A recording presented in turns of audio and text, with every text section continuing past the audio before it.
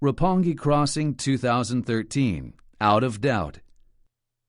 Introduction Since the Great East Japan Earthquake of 2011, the people of Japan have begun to cast doubting eyes on both the systems of their society and the media that provides their information.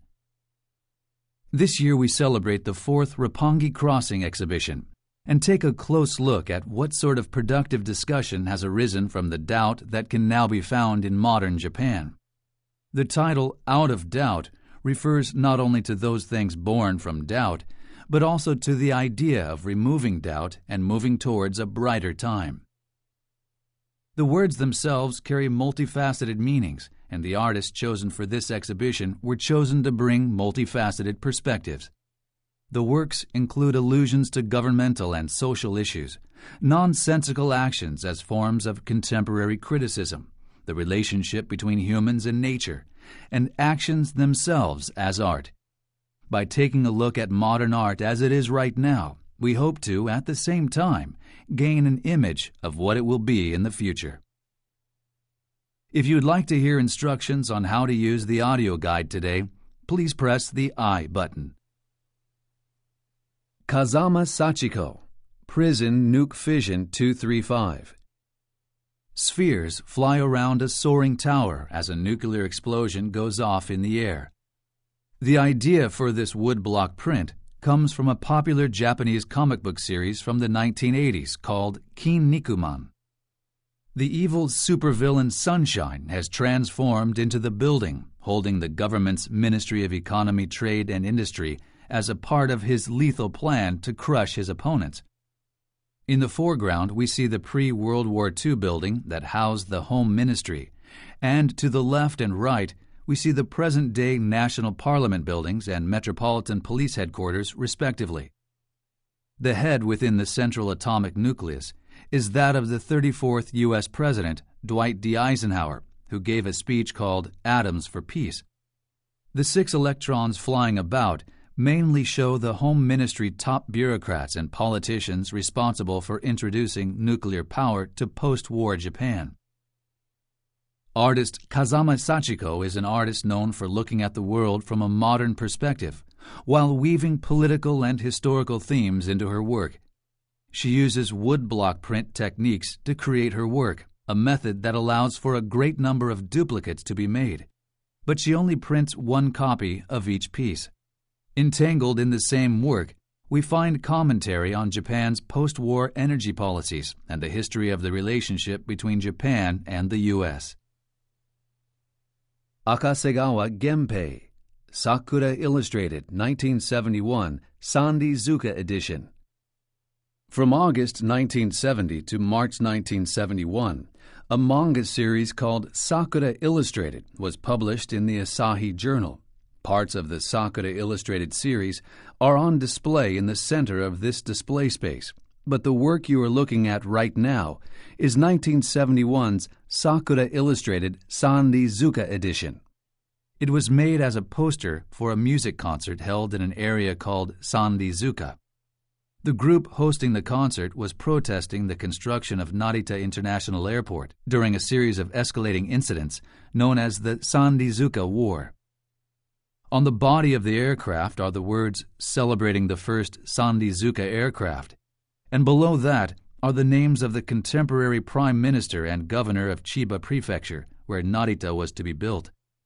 Behind the aircraft, fiery bottles plunge towards the overlapping police riot shields symbolizing the fierce clashes between police and demonstrators.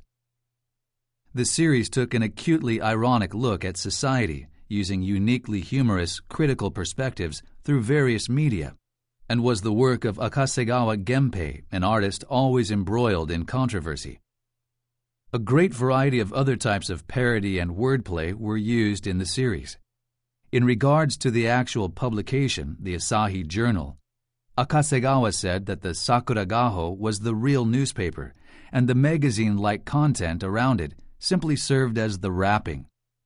His comment made it seem as if his work had taken control of that major magazine, and also serves to reflect the feel of the era itself when the airplanes took over. Nakamura Hiroshi, Island, the base. A deep limestone cavern extends from the foreground far into the distance in this image. In Okinawa, this type of cave is known as a gama. Near the end of World War II, Okinawa was the site of the largest land battles ever to be waged on Japanese soil. And after the American landings, many of the island residents fled to caves like this and committed suicide. The black, shadowy forms in the foreground represent those who took their own lives. Let's take a look at another work on display on the wall on your right. The next piece, titled The Base, drew inspiration from a 1957 event known as the Girard Incident in Japan. A U.S. soldier shot and killed a Japanese woman collecting spent shell casings and other metal scrap at a U.S. shooting range in Somagahara, Gunma Prefecture. Although it was first deemed an accident, later testimony showed that it was possibly intentional, and outcry arose across the country. From the giant face of the American soldier, lifeless eyes stare down the sights of his weapon. In the background, we see the bent over form of a woman, her back facing us. The extreme contrast seen in the two figures shows the absurdity of the incident itself. These works were made almost 60 years ago in the 1950s, in the middle of the post war reconstruction and a time of great chaos in Japanese society. During that period, reportage painting was born. It was an attempt to go to the actual scenes of political and social unrest to research and record events as pictorial art. When Nakamura Hiroshi painted these works, he was in his mid 20s. He used innovative methods incorporating socialist realism motifs in exaggerated perspective and montage theory techniques to create real artistic worlds. Kazama Sachiko's various work, though the two artists are separated by a generational gap, seems to resonate with Nakamura's, created in an era which saw great changes in societal institutions and social values. Niwa Yoshinori, proposing holding up Karl Marx to Japanese Communist Party, tossing socialists in the air in Romania. Niwa Yoshinori's work tends to focus on activity in public spaces, using real society as an artistic partner, conceiving and realizing performances from an unusual perspective. He takes simple acts and entwines them with regular life in an alien way. By doing so, he asks fundamental questions about the knowledge and authority of society. The first video work can be seen on the two screens in front of you as you enter the room. The artist took a portrait of Karl Marx and asked various offices of the Japanese Communist Party to hang it up within their offices. The press bureau of the party's central committee, the committee offices of Chiyoda Ward, and other wards around Tokyo, and even as far as the committee halls and offices of Nagoya and Sapporo cities. Marx was a German economist and revolutionary, and was the founder of scientific socialism. His theories went on to become the guiding doctrine for socialism movements around the world, including the Russian Revolution, and even the Japanese Communist Party follows its principles as its mission statement clearly shows. 1. The Japanese Communist Party takes up our country's tradition of advancement and revolution. Amidst the intensifying struggles for liberation by the peoples of Japan and the rest of the world, the party was founded on the 5th of July, 1922, as a political party based in the theories of scientific socialism. Watch the video and see if the people of the Japanese Communist Party, founded more than 90 years ago, hang the picture of Marx on the walls of their offices. Yoshinori's work shows that by injecting foreign elements into what are ultimately normal habits and customs, in one stroke they begin to crumble. The video piece playing on the television was filmed in Romania, a country that from the end of World War II until 1989 was socialist under the authoritarian rule of the communists. This video piece is titled Tossing Socialists in the Air in Romania, and, as the name suggests, the work involves young people throwing socialist politicians and activists into the air in Romania, in the capital city of Bucharest. Even though the revolution is over, Romania is still feeling its after effects with a stagnant economy and increased unemployment. The video shows us young people living in that environment who know little of the revolution, lifting socialists into the air. The renounced past interlaces with the modern day, and we are able to grasp those intersecting realities as the charged emotions of that communist legacy meet the real words of the modern youth. Yanagi Yukinori, Eurasia, Inujima Project, Momoshima Project, Kosagijima Project. On the wall on the left, we see a great number of vibrantly colored national flags lined up, but the designs on the flags have been destroyed by ants tunneling through each one. The piece is titled Eurasia and is a part of Yanagi Yukinori's Ant Farm series. In the destruction of the eroding flags and the mixing of colors, the unique work gives visualization to the worldwide confusion regarding globalization and asks us about the true meaning of nation and national boundary. The series was first shown in New York in the late 1980s, and since then, on the international stage, Yanagi has continued to critique modern civilization's constant quest for economic efficiency and rationality. Next, we have the artist's records about the Inujima Project, a later project that has now run for more than 10 years and about two projects on the islands of Momoshima and Kosagijima in Hiroshima Prefecture that derived from the Inujima project. The concept behind the Inujima project was born when the artist set eyes upon an abandoned refinery on the isolated island of Inujima in the Seto Inland Sea. Built in the early 20th century, it would have played a groundbreaking role in Japan's industrial development but after only 10 years of operation, the refinery closed due to a crash in copper prices. The abandoned buildings serve as a symbol, a relic of modernization. And Yanagi has overlaid a thematic motif based on author Mishima Yukio, a man who warned about the perils of modernization. The project was a 13 year collaboration with architect Sambuichi Hiroshi, and it culminated in the now open Inujima Seirensho Art Museum. Yanagi has put his hand to art from New York to the remote islands of Japan, and in his work we can see various structural contrasts, internationalism and regionalism, modernization and tradition, culture and nature.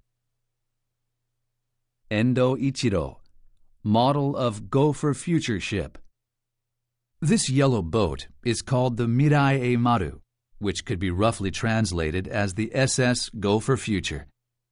The work here is a full-sized model of the boat, but the boat itself is still being built. In 2006, artist Endo Ichiro painted a car yellow, named it his Go for Future vehicle, and began traveling around the entire country. Endo calls himself a future artist, and to him, the future is not a far off land of fantasy. He had many of the people he met at the places he traveled write their dreams on the side of the car, which then carried those dreams away with it.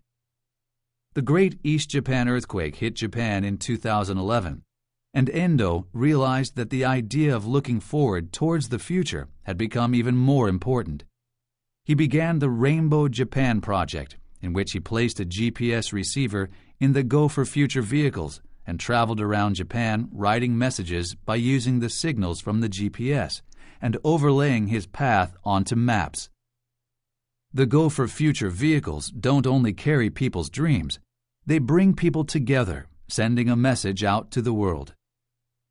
The first stage started out as a cry for people around the country to work together and the second stage was an attempt to pass on gratitude for the aid received from the world. Finally, in the third stage, the plan is to put out to sea on the Go for Future boat. Okumura Yuki, Takahashi Hisachika, from Wide White Space, Antwerp, 1967 to Project Room, Wiels Contemporary Art Center, Brussels, 2013.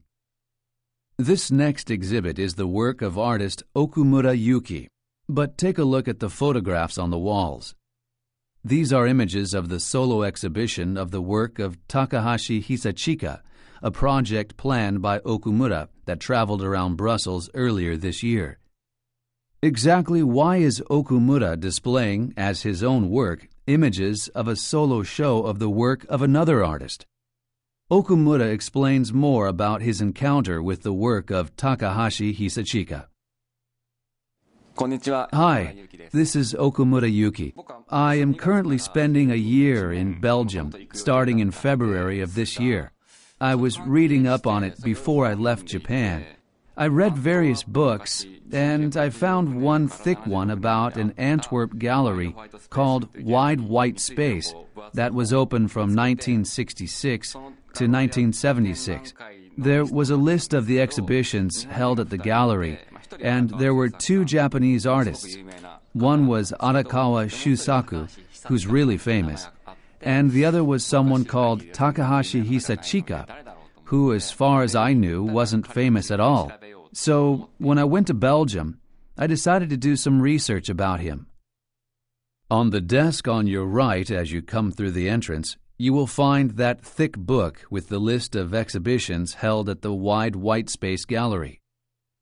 When Okumura arrived in Antwerp, he met up with Anny de Decker, who ran the gallery in the past. We talked about a bunch of things, but she told me that there were no photographs remaining of Takahashi's exhibition. Anyway, when she told me there were no pictures, I was disappointed. But then she said that the actual paintings that were in the exhibition were still around. She showed me the paintings, and I realized how great they were. Since they still existed, I thought that this was a great chance to show them to people again. Someone told me that Takahashi was living in Paris, so I went to meet him. I told him that I wanted to take all the paintings Anny had in storage and take them on a traveling show around Brussels. I asked him if that was all right with him, and he said yes. He came to help out with the exhibition, giving the opening speech, so even he himself put a lot of work into it. One artist organizing a solo exhibition of the work by another artist. A dual structure is born from this, as one artist introduces the other and offers commentary about the second artist's work. I think it's less about producing the show and more just like normal curating. I planned it out and organized it. Maybe it sounds a bit far fetched, but it was kind of like I was being superimposed over Takahashi. I am in the same situation as he had been as a Japanese artist who had just arrived in Europe, with his work too. Pieces he'd made afterwards in New York are really close to pieces I'm making now so, in that way, too, it's like I'm superimposing myself over him. I was putting on his exhibition as my own project, and maybe it's the same now. But when we were doing the exhibition in Brussels, it was really ambiguous. I mean, exactly whose show was it? I think maybe I was interested in creating a situation where people wouldn't know who was who through superimposing me, Okumura Yuki, and Takahashi Hisachika. The exhibition statement that Okumura used at Brussels Wiels Contemporary Art Center is on display again here today. Brussels and Tokyo, Wiels Contemporary Art Center, and Mori Art Museum. Okumura has taken these long buried artworks and carried them across time and space, giving us all the chance to look upon layers upon layers of meaning. Tajima Mika, The Extras, Tokyo, at this, the fourth Roppongi Crossing exhibition, we also take a look at Japanese artists active overseas as well. In this exhibit, we look at the work of Tajima Mika, a Japanese American artist based in New York. This is the first time her work has been exhibited in Japan. Here, we see a series of works are on display on the long wall on the right. But on the left, as you walk down the hallway, you will see a wooden rack seemingly made to store paintings.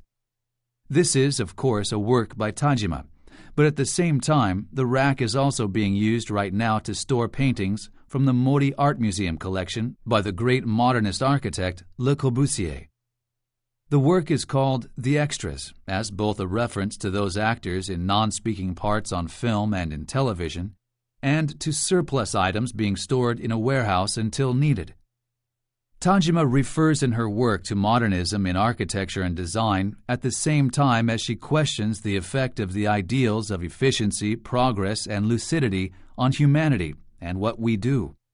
Le Corbusier's painting in the installation here functions partly as architecture, partly as an interchangeable surface, and partly as the image itself. Akira Akira, Spielberg, Black, Desert Island. A black liquid-like substance seems to have been spilled atop the display. The substance is actually made of polyurethane and normally used to paint automobiles. But in the way the light reflects off the surface, it seems even now as if it were about to flow. It is the work of Australia-based artist Akira Akira. The work is titled Spielberg.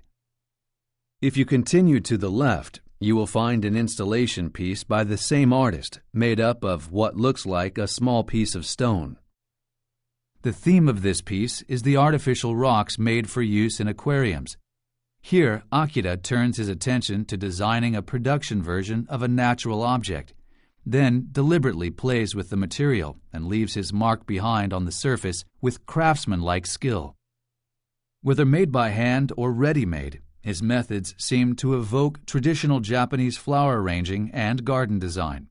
He takes objects of various materials and forms and places them in an extremely delicate arrangement. Akira stresses the relationship of the entire arrangement and space, not only the individual objects, and perhaps this installation represents for him a sort of landscape. Simon Fujiwara, The Problem of History, The Problem of the Rock. At the bottom of the escalator leading up to the entrance to Mori Art Museum, there is a large plaza. You may remember seeing a large stone with a little red child's hat on top as you crossed the plaza. You would have also seen a rock with children's handprints in red and yellow as soon as you entered the exhibition space. And in another room, another rock with a crutch sticking out of the top. These rocks are all a part of an art project by Simon Fujiwara, titled The Problem of the Rock, which was displayed in the spring of 2013 at the shrine known as Dazaifu Tenmangu on the island of Kyushu. Exactly what story do these works tell? Since the ancient past, the Japanese religion of Shinto has revolved around the worship of nature, of the so called eight million gods of the stones, trees, mountains, seas, and winds. Dazaifu's Tenmangu asked Fujiwara to create a piece of art that would last a thousand years. Fujiwara was interested in the idea that, over a great length of time, the stones could take on various meanings and gradually become the target of faith. Please take a look at the monitor. In completing this project, Fujiwara did an incredible amount of research at sites connected to stone, from the caves of Argentina to the spas in Lourdes, France, and finally to the stone of anointing at the Church of the Holy Sepulchre in Jerusalem. Throughout his travels, he thought about exactly how a piece of stone could become an object of belief for people. Faith, doubt, history, origins, problems, answers. Fujiwara tells an eloquent tale regarding stone of the fusion of fiction and reality through his research and intellectual transition. Kaneuji Teppei, Ghost in the Liquid Room, Lenticular, The Eternal. Please move around as you view this work on display. As your perspective changes, you can see the images in the photos that make up the work move and change themselves. The work is called lenticular. To create the piece, the artist took a number of lenticular postcards and posters, which show images that change position as you move them, chopped them up into fragments, and attached back together into a 3D form. As you move around the piece, what you see changes. Artist Kaneuji Teppei's work is said to show a great consciousness of opposites as it wanders between 2D and 3D, between visible and invisible. Hello, my name is Kaneuji Teppei. My goal is to make complex dimensionality more visible, So, while the photos I use are glued onto a flat surface to make it look more three dimensional, I add corners in various places by carving up the photos into geometric shapes. I think this is what gives it its more complex dimensionality and that new functionality of moving around as you look at the work on display. That's the kind of work I wanted to create. Also, this time I think there's some vague imagery of tank like structure or of a portable shrine. This piece functions through the application of light within a display space that is plunged suddenly through some catalyst into darkness. I use lenticular lenses and reflective sheets to let light touch upon and reflect within dark spaces. Under normal light, the piece doesn't function at all. So I wanted to put in an element that only functioned under conditions completely different from the normal display. And so I used the reflective sheets. I really wanted to add an element that evokes an image of conditions completely different than ones you're actually in right here, right now. Please take a look at the new work on the wall. The frame of the piece is made up of photos of liquids cut out from cosmetics and other advertisements. A wood grain pattern, just like a bare wall, can be seen within the frame. Using a frame to show not a regular piece of art, but to show nothing, it seems to ask us exactly which part of the display is the artwork and sets our perspective adrift. The images have become the frame, and the part that should be on the outside as the background, the empty wooden image, is brought inside. In a way, it's all been reversed, and every picture is made like that. I created this work with the thought that with inversion after inversion, with five of them together, the white of the walls would seem to be reversed the walls would seem to become more substantial. Recently, I've been thinking about how to create things that can't be seen, and how to create pieces where the way you look at them will change when the conditions change. I've been really conscious of that kind of thing. For me, as I continue creating, I'm very conscious of how the value of a piece changes and how I have to stop thinking of putting focus on one thing. Using materials close at hand and by creating changing, never before seen structures, Kaneuji asks us various philosophical questions about looking, recognizing, and feeling, and about what it means to be different or the same, or to actually exist. Shitamichi Motoyuki, Remnants, Re-Fort Project 6. A semi-spherical building stands in the middle of an idyllic farmer's field. This oddly out-of-place object is a bunker that was built during World War II and designed to protect an aircraft from enemy fire. Artist Shitamichi Motoyuki was born in 1978. Ever since finding a World War II era water tower and electrical transformer near his home, for his Remnants series, or Shape of War, Shitamichi took photographs of 73 war ruins around the country, like this one, classifying and arranging as he went, and presenting each with drawings and commentary. Concrete installations were used to protect the coastlines from attack. There are buildings, gun batteries, and weapon testing grounds, and while some lie abandoned, now unused, some have been integrated into daily life by being readapted to serve a role in regular life or as space for storage. Shitamichi's eyes quietly grasp that distortion in time that surrounds the ruins and the landscape around them. Please move down the display. These works were used as part of the Re-Fort project begun in 2004. The project is an attempt to not just understand the ruined buildings, but to give them new meaning. After working with other people to put a building to some use, it is then returned to its previous condition. His new work, Re-Fort Project 6, featured artists setting up easels and painting at a place in Aomori Prefecture called Tappi Misaki, which was used as an observation post. The wartime scenery and present day scenery seem to overlap. Nakahira Takuma, Untitled. Here, we take a look at a number of photographs taken over the period of a decade by Nakahira Takuma. Born in 1938, Nakahira was working as an editor at the magazine Gendai no Me when in the late 1960s he began to take photographs and to work as a critic. With the publication of photography magazine Provoke in 1968, the photography world was rocked by the innovative techniques shown by Nakahira and his fellow photographers, techniques known as are bure bokeh, or rough, blurred, out of focus.